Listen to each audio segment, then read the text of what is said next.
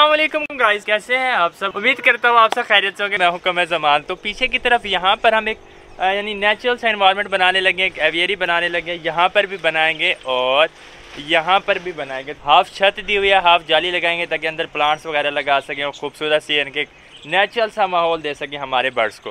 ठीक है तो उसके लिए ही यहाँ पर अब सेटअप को थोड़ा सा चेंज किया जा रहा है। यहाँ पे हमने ईंटें बिछा ली थी, शापर और मट्टी थोड़ी बहुत कर ली है। बाकी थोड़ा सा काम रह रहा है, वो भी करेंगे। सेटअप की अपडेट आप लोगों के साथ शेयर करेंगे। वीडियो कंप्लीट देखिएगा, उससे पहले अगर आपने मेरा चैनल सब्सक्राइब नहीं किया तो सब्सक्राइब कर लें बेल का आइकन भी प्रेस कर दें। लेट्स गो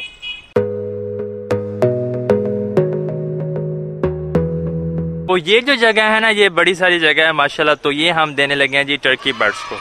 और इसके साथ वाला जो एरिया है, इसको भी बनाएँगे डक्स के लिए और रेबिट्स के लिए। फ़िलहाल टर्की बर्ड्स के लिए हम इस एरिया को बनाने लगे हैं। हाफ़ छत दी हुई है क्योंकि गर्मियाँ हमारे इलाके में बहुत ज़्यादा होती हैं। उसामा भी मेरे साथ है, हमने यहाँ पे ईंटें कंप्लीट करनी है शापर बिछाना है, मट्टी वगैरह डालनी है इस जगह कंप्लीट करते हैं, पीछे की तरफ़ से बैम्बू वाल देते हैं साइड पे बैम्बू वाल देते हैं, जिसके बाद कि ये जगह हमारी तैयार हो जाएगी।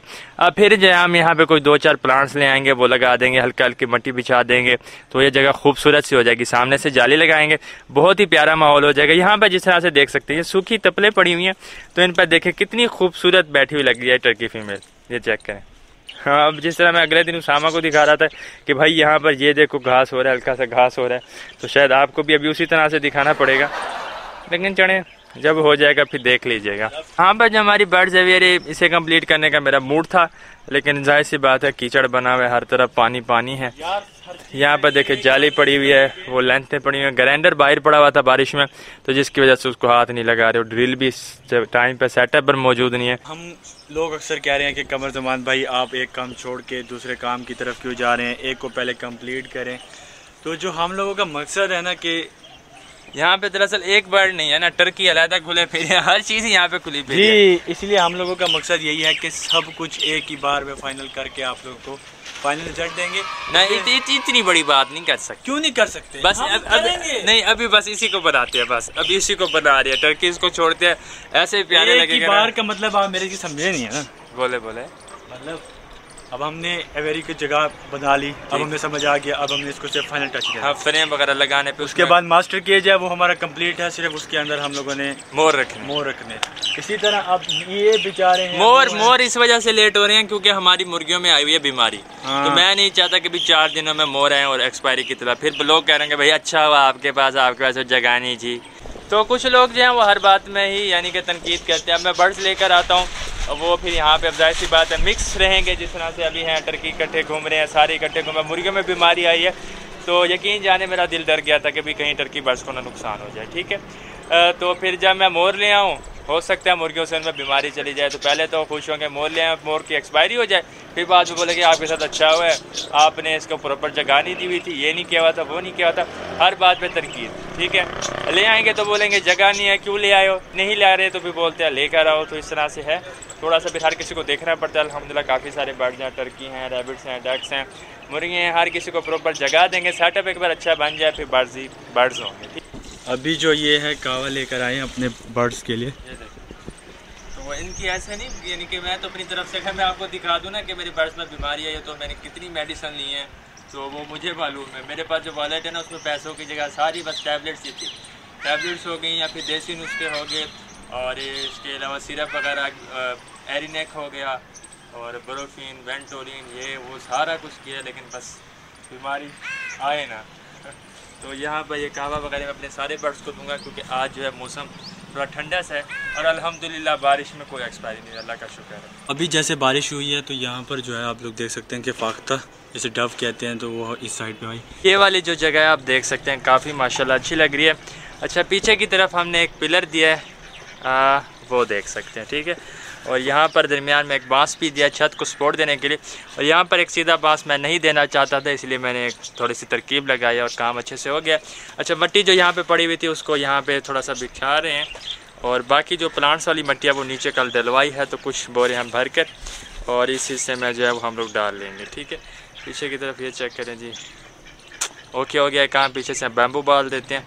जिसके बाद कि ये रिकवर हो जाएगा, मट्टी आधी आ गई आधी और डालेंगे। जिसके बाद के फिर प्लांट्स लगाने रह जाएँगे और सामने से जाली लगाना रह जाएगी। तो यहाँ पर आप लोग देख सकते हैं कि खूबसूरत सी जगह जब वो तैयार हो चुकी है। पीछे की तरफ़ भी बैम्बू वॉल और साइडों से भी बैम्बू वॉल लग चुकी है और नीचे मट्टी बिछी हुई है जहाँ पर ये बर्ड जो आराम से रह सकेंगे। यहाँ पर हम लोग आए हुए हैं जी नर्सरी पर और देखें जी माशाल्लाह यहाँ पे तरह तरह के प्लांट्स हैं। तो देख लेंगे अगर कोई पसंद आ जाएगा तो यहाँ से लेते चलेंगे। ये देखें ये दरख्त कैसा है। ये किसी काम का ही नहीं है सच रुपया ढाई सौ। नहीं ये किसी काम का नहीं है सच में। और यहाँ पे इस तरह से ग्रास लगा के देते हैं जो ये नर्सरी वाले लगा के देते हैं ना ये देखें यहाँ पे भी गैप गैप है। और ये जो है फिर जल्दी फिल हो जाएगा जिस तरह से कि यहाँ पर इस तरह लगा के देते हैं। हाँ हाँ। फिर ये इस तरह से ग्रो कर जाते जैसे यहाँ पे लगा था इतना ज़बरदस्त है यार। हमारे दरअसल रैबिट्स ही खा जाते हैं तो फिर शुक्र है कि ये वाला ग्रास अभी लगवाया नहीं। ज़बरदस्त है कसम से। चले ना तो फिर पैरों पे ऐसे।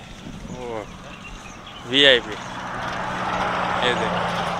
खास करके ये जो रेड वाला बॉर्डर दिया हुआ है ना वी आई पी अच्छा जी, यहाँ पर भी बड़े बड़े दरख्त हैं। ये ऐसे चलते चलें चलते चलें पौधों के बीच से और ये देखें, खूबसूरत से फूल। अगला दिन है और यहाँ पर मैं आप लोगों को दिखाता चलूँ जी, यहाँ पर एक माशाल्लाह खूबसूरत सी जगह जो है वो बन चुकी है। यहाँ पर एक कल हम पौधा लेकर आए थे नर्सरी से, एक पौधा ये है और दूसरा पौधा जो है वो दूसरी तरफ़ है, वो मैं आपको दिखाता हूँ। लेकिन यहाँ पर मैं पहले आपको दिखाता चलूँ कि माशाल्लाह हमारा पीला मुर्गा जो है, यहाँ पर मट्टी में खेलने आ चुका है। तो इस जगह को इस तरह से बनाया गया है कि हाफ़ हिस्से तक छत है, ताकि किसी तरह की परेशानी ना हो बर्ड्स को बारिश वगैरह में, और वो जो है यहाँ पर मिट्टी में। यहाँ पर सिर्फ़ अच्छी मट्टी डाली गई है, भुरभुरी जहाँ पर के बर्ड्स जो हैं बैठ सकेंगे और मज़े कर सकेंगे। और इस तरफ़ जो है वो प्लांट्स वाली मिट्टी होगी, थोड़ी सी रेतली होगी तो मैंने सोचा यार बर्ड्स को वो मसला ना करे, इस वजह से मैंने ये अच्छी वाली मिट्टी डाली है यहाँ पर। और एक पौधा जो है वो हमारा यहाँ पर आ चुका है।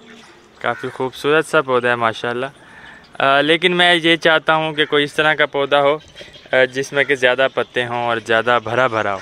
ये मैंने लिया तो वैसे मुझे पसंद दिया फैंसी सा पौधा है, खूबसूरत सा। लेकिन जो है फिर मुझे लगता है कोई ऐसा पौधा हो यहाँ पर जो कि ज़्यादा, जिस पर पत्ते हों, ज़्यादा अच्छा लगे।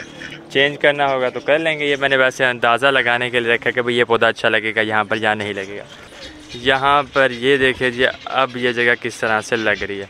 हाफ़ एरिया कवर्ड है हाफ़ जो है वो ओपन होगा यहाँ पर मज़ीद मिट्टी डलेगी प्लांट्स वाली और यहाँ पर छोटा मोटा डेकोरेशन के कुछ मज़ीद प्लांट्स भी लगाएँगे और हमारे टर्की बर्ड्स को सामने से फ्रेम लगाने के बाद यहाँ पर छोड़ देंगे। पौधा आपने दूसरी तरफ़ देखा और एक पौधा जो है वो यहाँ पर है, ये वाला। तो दो पौधे लिए हैं मैंने इस तरह के। काफ़ी खूबसूरत से हैं, मुझे तो पसंद आए हैं। ये देखें ना, छतरी की तरह फैले हुए हैं। तो इसी वजह से लिए बाकी तीन पौधे और भी हैं, जो कि सलामत है, एक अमरूद का, एक अनार का। और यहाँ पर सिर्फ़ दो फैकस के पौधे हैं। या पता नहीं इसको क्या बोलते हो। एक पौधा ये है और दूसरा पौधा जो है वो ये है।